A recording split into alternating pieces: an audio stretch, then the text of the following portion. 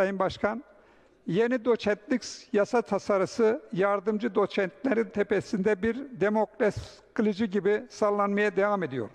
Dünyada örneği olmayan merkezi bir uygulama ile doçentlik unvanı için yardımcı doçentler akademik çalışmalarını üniversiteler arası kurul üyelerine gönderecek ve onaylanması halinde sözlü sınava dahi girmeden ünvanlarını alabilecekler.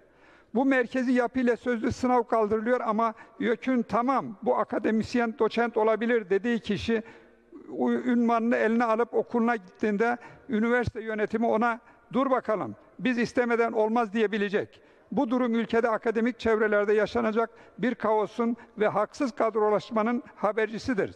Zaten kriz halinde olan eğitim sistemimize bu uygulama ile yeni sorunlar eklenecektir. Teşekkür ederim.